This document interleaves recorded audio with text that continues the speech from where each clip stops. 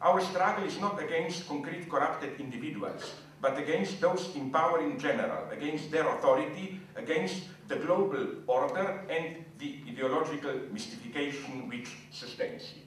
That's what Paul really meant, but another So what I want to do based on this is just to go on practicing the old half-forgotten art of the critique of ideology. When then are we in ideology?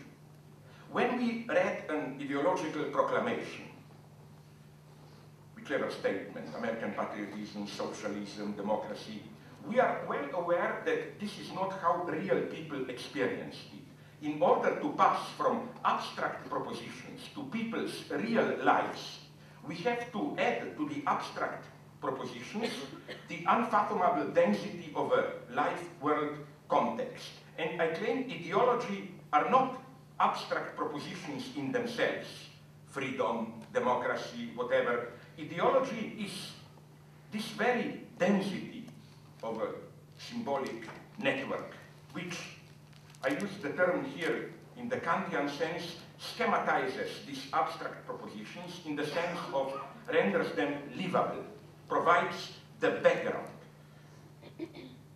for the way we concretely understand them. Take military ideology. It becomes livable. Officially, it's discipline, struggle for your country, and so on. But I claim it becomes livable only against the background of the obscene, unwritten rules and rituals, marching chants, fragging, sexual innuendos, in which it is embedded. For me, when I was young, I served in my country, ex-Yugoslavia, the army, and this was for me almost the moment of formation of my insights, where, to be frank, I'm a kind of a, what you call control freak, freak obsessional neurotic, almost a fascist character. I like order, efficiency. So quite openly, I was glad to go to the army. But then came the disappointment of my life. Army is not that. Nothing functioned, it was all one big obscenity, improvisation, and so on and so on. And it took me some time to get it that this was not any kind of subversive resistance. That's how power functions. What appears to be a secret resistance to power, all the obscenities, dirty jokes, and so on and so on, is the way power is sustained. Which is why my first thesis, if there is an ideological experience at its purest, it is at the moment when we adopt the attitude of wise ironic distance and laugh at the follies we are ready to believe. You know, when you say, no bullshit, cut the crap, let's go to how things really are. Be careful. When someone uses that language, it means you will get ideology at its purest. and I can even give you an example. You know popular philosopher Harry Frankfurt who wrote the book uh, on bullshit. You remember it was a mega bestseller, short essay. Uh, I immediately was suspicious. And my suspicion was well justified because I read an interview with Frankfurt. Probably he didn't dare to do this here about two years ago in a German philosophical journal where they asked him, okay, but give me an example. Do you have an example of today in the United States of a politician who is not bullshitting? He said, John McCain. Here the we So again, uh, what is ideology? A public debate that I had with uh, a person whom I don't especially like, Bernard-Henri Lévy, the French new philosopher, at New York Public Library, something interesting happened. Uh, first, he made a pathetic case for liberal tolerance. Something like, would you not like to live in a society where you can make fun of the predominant religion without the fear of being killed for it, where women are free to dress the way they like and choose the partner as a partner the men they love and so on and so on. And I made, I must say, a similar pathetic case for communism. With the growing food crisis, ecological crisis, and so on and so on. Is there not a need to find a new way of collective action which radically differs from market as well as from state administration? The irony was that when we both stated our case in these abstract terms, we both couldn't but agree with each other. I said, what should I say? No, I want women to be oppressed and uh, submitted to said, of course I want that. And even he said, oh, if this is communism, then I'm a communist, and so on. This means that we were in ideology. You got it? Because we obliterated this dense background, as it were background noise, which, on account of which, when you say today things like he said, it's not just what you get, it's the whole set of unwritten rules which provide a very specific, concrete meaning of what you are saying. I don't want to lose your time here, but I've elaborated this in some of my last books, I think especially in uh, violence. This is a phenomenon, namely, which immensely fascinates me.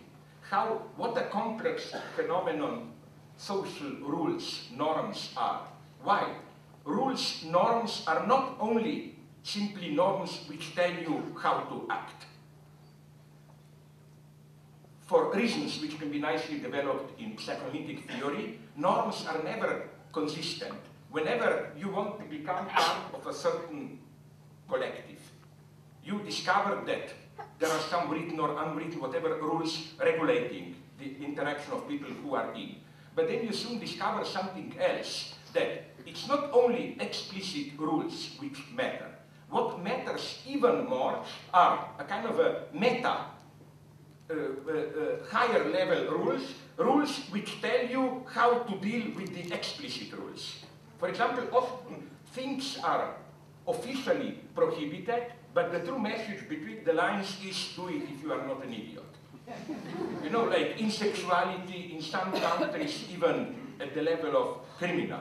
For example, it, it can be nicely demonstrated that the entire Soviet Union functioned only through smuggling to black market and so on, so the official rules had to be violated. And if you followed the explicit rules, you were simply an idiot. You didn't get it. uh, but a much more interesting example is the opposite one. It's not that the law or the rules prohibit something, but between the lines the message is do it. It's when you are allowed solicited even to do something on condition that you don't really do it. You know, like you are given a free choice on condition that you make the right choice, as it were. And this is another fascinating topic. I think this is the fundamental, maybe zero-level ideological mechanism to give you a choice on condition that, uh, that uh, the choice is free. In one of my early books, so I hope you don't know the example.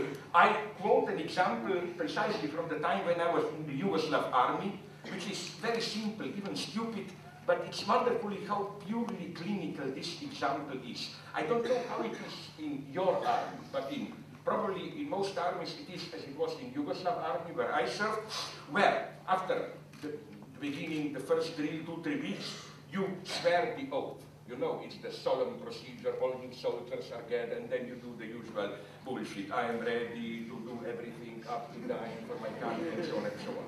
Then after all of us pronouncing these words in public, each of us then had to sign the oath.